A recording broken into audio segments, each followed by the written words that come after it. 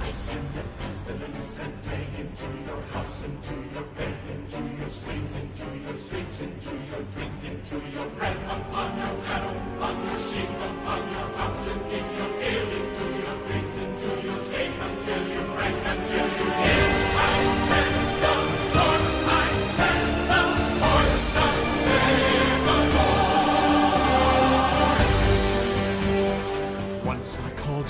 brother. Once I thought the chance to make you laugh was all I ever wanted.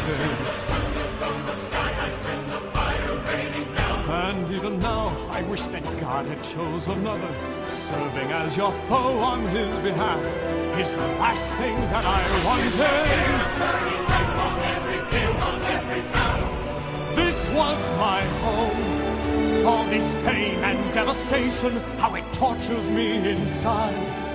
All the innocent who suffer from your stubbornness and pride.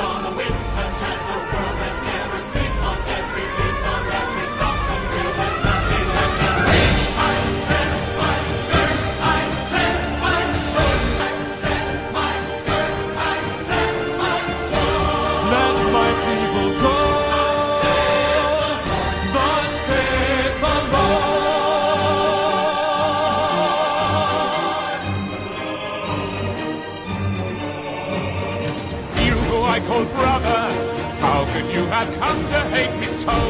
Is this what you wanted? I send the I send the Then let my heart be hardened, and never mind how high the cost may grow. This will still be so. I will never